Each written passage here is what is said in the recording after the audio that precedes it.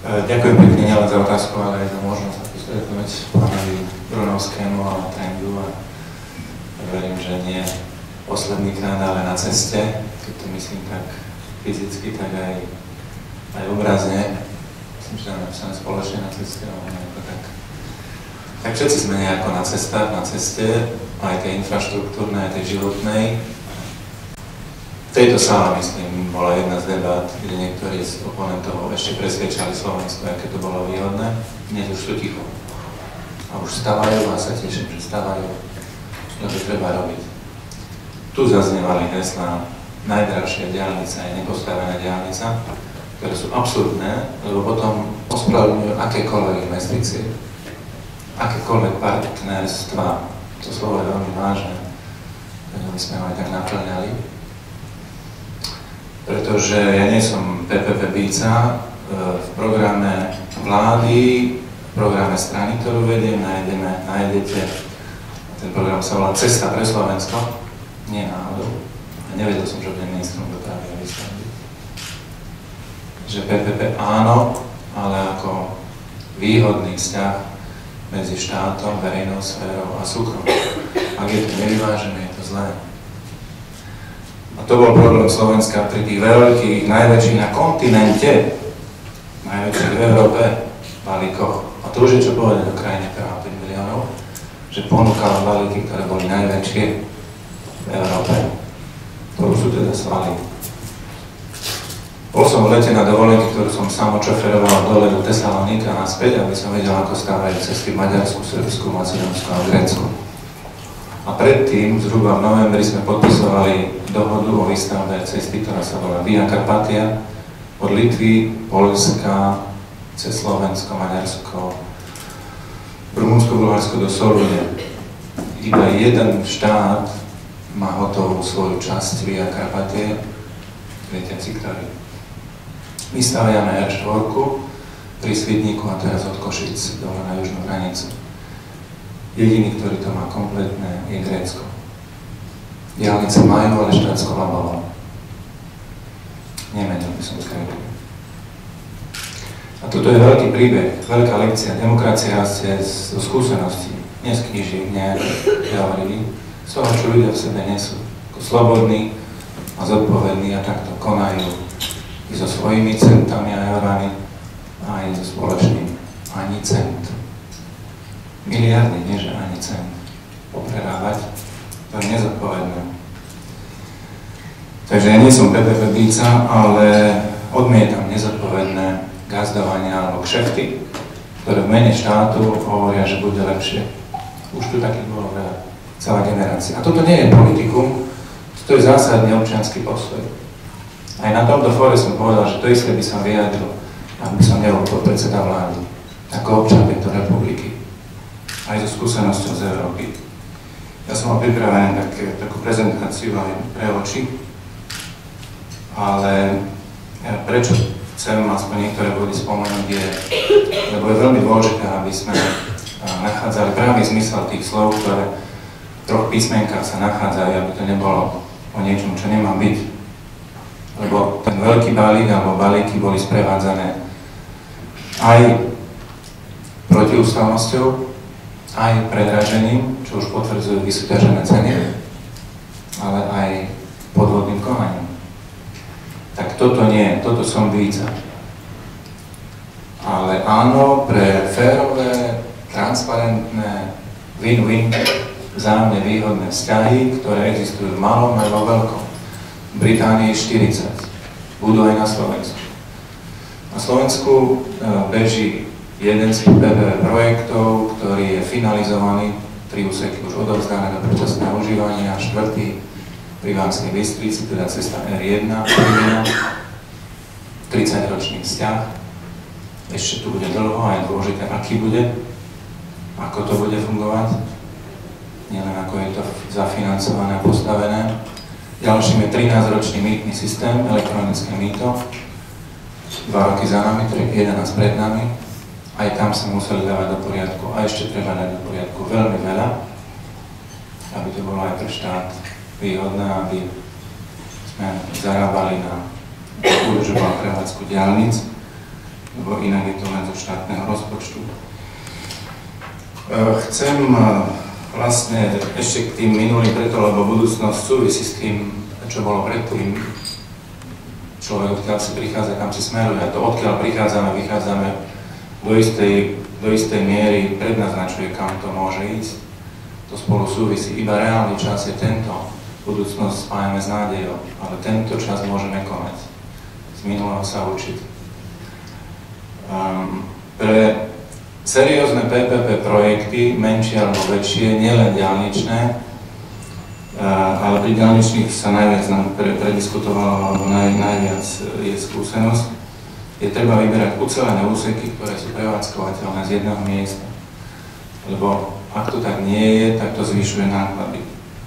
Nespájať stavby príliš vysokej hodnoty, lebo obrovský balík si žiada obrovskú finančnú a stavebnú kapacitu, a to už limituje súťaž. My sme mali na tri balíky, v jednom prípade dvoch súťažiacich, v ďalšom štyroch a v treťom jediného, čo znamená drahšiu výstavbu, aj financovanie, aj prevádzku. Treba sa vyhýbať úsekom, ktoré majú vysoké rizika, lebo každé riziko je osobitne naceňované a ak PPP má pomáhať, tak skôr tam, kde rizika sú primerané alebo minimálne začínať s PPP projektami pri nižšom stupni pripravenosti, aby každá optimalizácia bola možná v celom procese, tak aby sa projekt zlacňoval. Lebo ak sa to robí už na konci, kde už je hotový projekt, alebo len sa doprojektováva a dokonca ešte v nejakom časovom strese, tak to všetko zvyšuje cenu.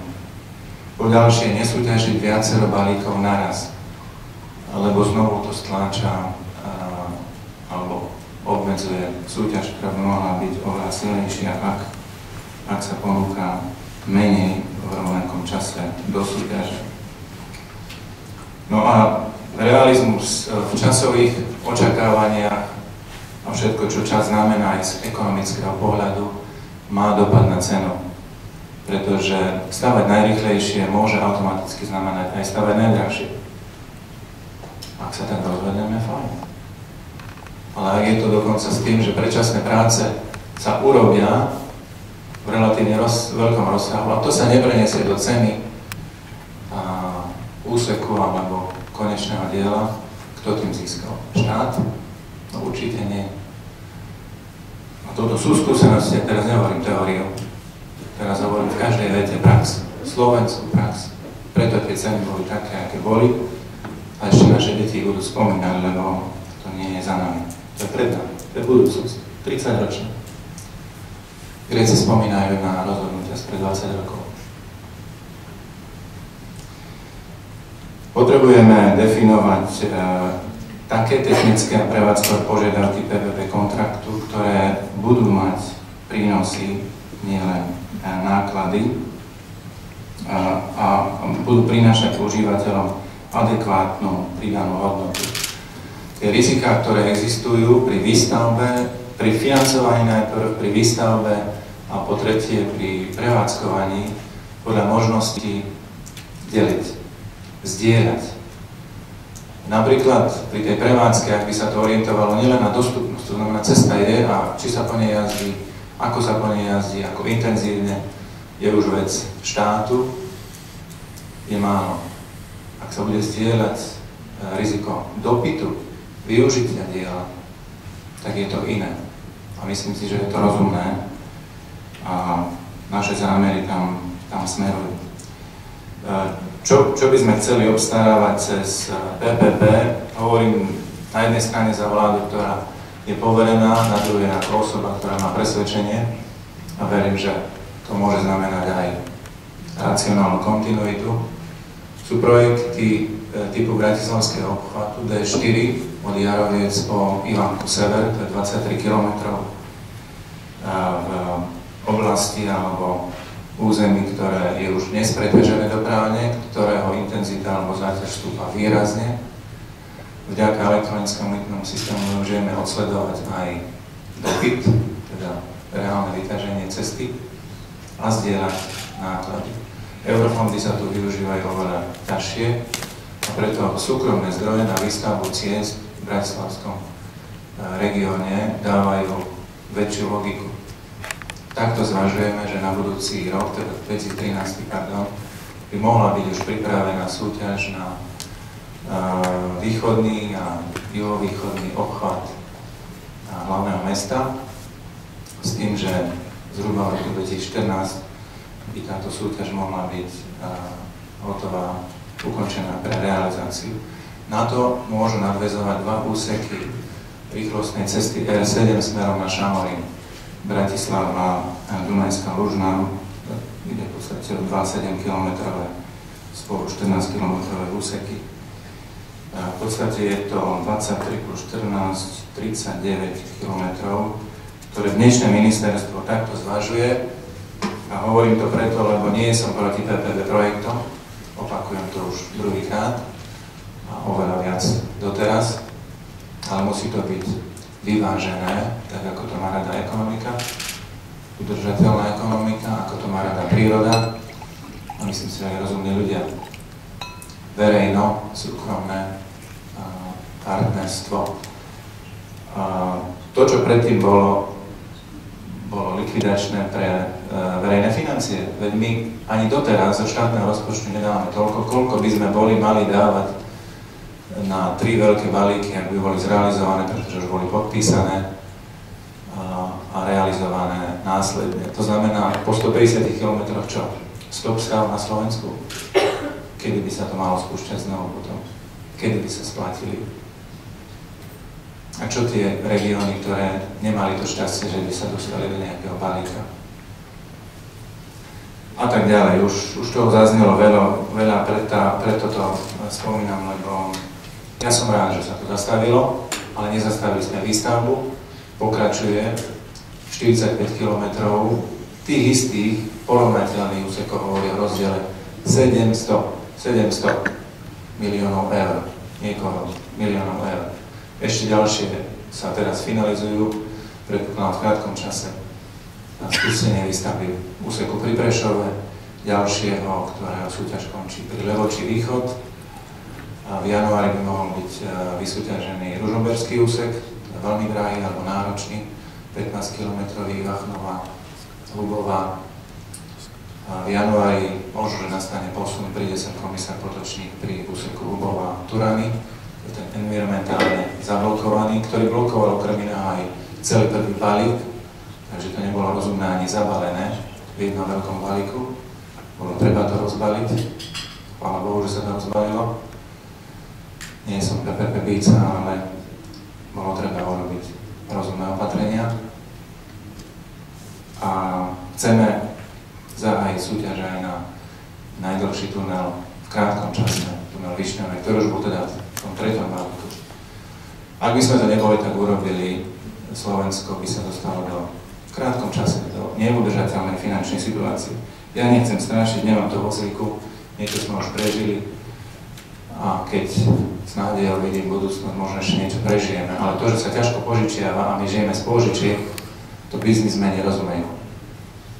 Ak by sme boli splácali za PPP e, projekty, respektíve naša zadlženosť by odhadom roku 2016 poskočila o 0,7 percentuálneho bodu z hľadiska deficitu verejných financií a z hľadiska e, zadlženosti mám tu niekoľko čísel zhruba poskočila pri odhadovaných 50% bez týchto PPP troch balíkov na úroveň 57 a postupne rast nad 60% Z 1,68 milióna dlhovej služby pri 50% zadržení Slovenska v 2016 roku na 2,16 milióna, teda 2, 16 miliardy dlhovej služby, čo už odpovedá dlhu 64 HDP. No, je to e, viacero čísel, ktoré nechcem príliš, príliš zdôrazňovať, ale dostať sa do e, finančne neudržateľnej situácie e, si nežiada ísť na 100% HDP zadlženosti. My už môžeme mať problém, my nie sme závodov ani v dnešnom stave. Musíme konsolidovať výrazne reálne, dynamicky a na druhej strane rozvíjať, stavať, zamestnávať.